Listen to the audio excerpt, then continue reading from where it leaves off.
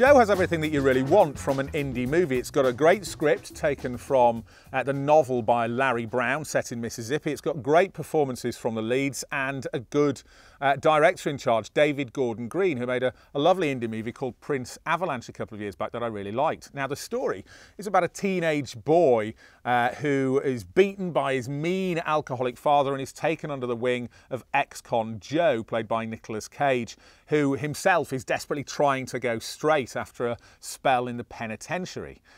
Now it's set in Mississippi and you get that feeling from the direction of hot sun and grizzled drunks and rusted up trucks. Tye Sheridan is fantastic as a teenager. You might remember him from Mud with Matthew McConaughey. He was great in that and he really proves his potential. It's a performance of toughness and vulnerability. And Nicolas Cage hasn't been this good for years. Reining it in for much of the movie and then letting it out, the anger, like bursts of steam from a vent. He's absolutely terrific.